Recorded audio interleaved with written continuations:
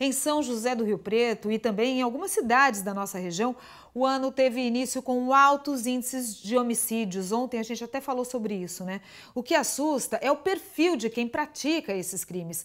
Grande parte deles são adolescentes ou adultos frios e que não se arrependem do que fizeram. São José do Rio Preto, cidade conhecida como terra de oportunidades, acolhedora, mas nos primeiros meses do ano também tem sido palco de violência e mortes.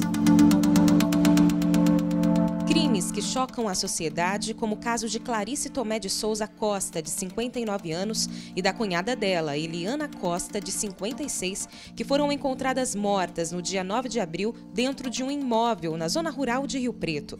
Elas foram mortas pelo caseiro que vigiava o local, que inclusive no dia do crime falou com a nossa equipe. Aí eu entrei na varanda, eu vi o corpo, né? Aí foi onde que eu assustei e saí correndo. Falei, ó, pode ligar para a polícia porque tem um corpo caído lá. Ele foi preso dias depois e confessou o duplo feminicídio. Ele está preso mediante uma prisão temporária que foi decretada pela Justiça. Então, logo a gente finalize o inquérito, vamos representar pela prisão preventiva para ele permanecer à disposição da Justiça. Em outro caso, registrado em fevereiro deste ano, o mototaxista Sidney Aparecido de Oliveira, de 60 anos, foi encontrado morto com sinais de pedradas na cabeça e uma facada no pescoço no bairro Vila Toninho, zona sul de Rio Preto. Em março, uma jovem de 17 anos foi morta a tiros no bairro João Paulo II. O crime aconteceu depois que Rafaela foi visitar o namorado no CDP em Rio Preto. Segundo a Polícia Civil, a jovem teria sido executada.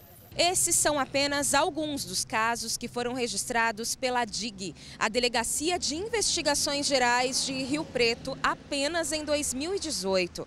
A maior parte dos casos envolve drogas, mas o que chama a atenção é o perfil de quem tem praticado esses crimes. Grande parte deles são adolescentes, também temos vítimas é, adolescentes e 80% das vítimas com envolvimento no crime. Foi levantado que pelo menos dois autores, eles falaram, precisamos cometer os crimes antes que a gente faça 18 anos. Segundo dados da Secretaria de Segurança Pública, nos primeiros meses do ano foram registrados 24 homicídios dolosos em Rio Preto. Às vezes a gente fala que a gente se sente seguro, porque enquanto não acontece com a gente. É, hoje em dia está geral, né?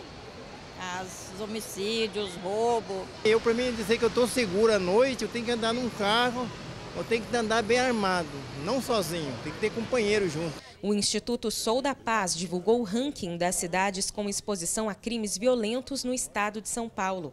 Quanto menor o número, mais seguro é o local. Presidente Prudente se destaca na nossa região como um dos menores índices no 17º lugar. Já Rio Preto está na posição de número 88 e Araçatuba em 95º, com o menor índice de segurança. Segundo dados da Secretaria de Segurança Pública do Estado de São Paulo, no ano passado, Rio Preto registrou 89 homicídios dolosos. Nos primeiros meses desse ano, foram 24. Segundo o delegado da DIG, quase todos os casos já foram resolvidos. Foi criada uma força-tarefa aqui na DIG, pegou um policial de cada equipe, dois delegados para investigar os homicídios, apesar de que fora da força-tarefa teve um outro colega também que esclareceu alguns homicídios que eram de sua competência. A maior parte desses crimes tem sido cometida por adolescentes. Para as famílias, como a da Paula, que teve o filho de apenas 18 anos morto durante um assalto, a impunidade torna a dor ainda maior. Nossos governantes deixam a desejar. Então, hoje, se eu pudesse fazer um apelo, eu, falar, eu faria para os governos, para as autoridades do nosso país, para se conscientizar, porque tem que começar de lá.